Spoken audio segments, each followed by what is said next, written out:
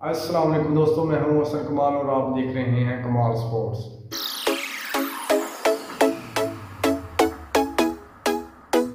दोस्तों, पाकिस्तान और श्रीलंका के दरमियान एशिया कप का फाइनल पाकिस्तान ने टॉस जीतकर पहले फील्डिंग का फैसला किया है। पाकिस्तानी बॉलर्स को अब ज़बरदस्त बॉलिंग का मुजाहरा करना होगा और श्रीलंका को कम से कम स्कोर तक महदूद रखना होगा।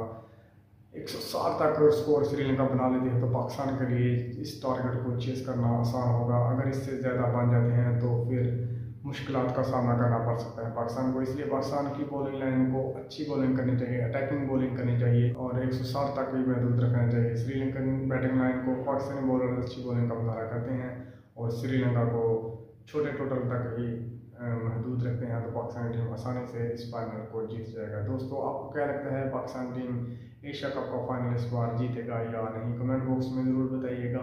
दोस्तों, वीडियो अच्छी लगे तो वीडियो को लाइक और चैनल को सब्सक्राइब ज़रूर कीजिएगा। बेल आइकन को लाजमी प्रेस कीजिएगा ताकि आइंदा भी हर वीडियो का नोटिफिकेशन आपको बर वक्त मिल सके। अल्लाह हाफिज़।